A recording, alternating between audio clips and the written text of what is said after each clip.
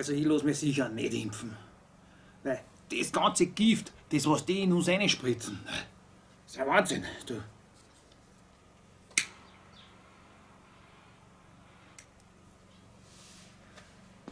Na, mit mir nicht.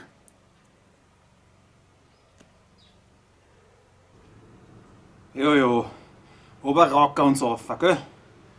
Das kennen wir. Das ist nämlich überhaupt nicht ungesund. Da ist nichts Schlechtes drin. Sicher nicht.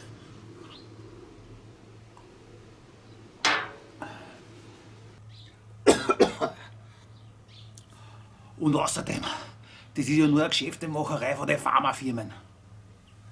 Die wollen ja nur der ganz Klumper da anbringen, damit wir das kaufen und uns einspritzen, damit sie Geld, Geld, Geld machen.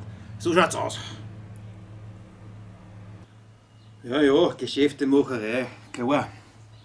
Aber, wie schon ein altes Bauernsprichwort sagt, du musst schneiden, wenn Schnitt ist. Und das ist klar, dass die das dann verkaufen, wenn es braucht wird. Und dann können sie jeden Preis verlangen. Das hat aber nichts damit zu tun, ob es jetzt wirkt oder nicht. Weil wenn man sich nämlich die Zahlen anschaut, dann sieht man ganz genau, dass viel mehr Ungeimpfte krank sind als Geimpfte. So schaut's aus.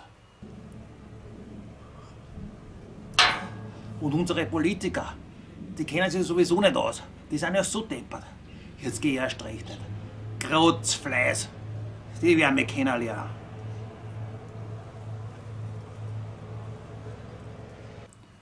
Ja, ja, die Politiker. Ich sage ja, man muss das geringste Übel wählen.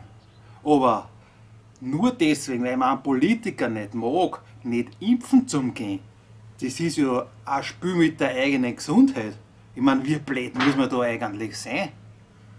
Weil helfen tut's ja. Egal was die Politiker sagen. Da muss ich an mich selber denken und an die anderen, die ich schütze. So schaut's aus. Also zum Schluss noch zusammengefasst gesagt, gegen Corona kannst du impfen, gegen Blödheit leider nicht. Da gibt's noch nichts. Wir sind im 21. Jahrhundert. Wir wissen, dass das wirkt. Aber es gibt Leute, die glauben das einfach nicht. Leon, wir sind nicht mehr im Mittelalter. Denkt ein wenig nach und denkt auch an die anderen. So schaut's aus. Viert euch. Bis zum nächsten Mal.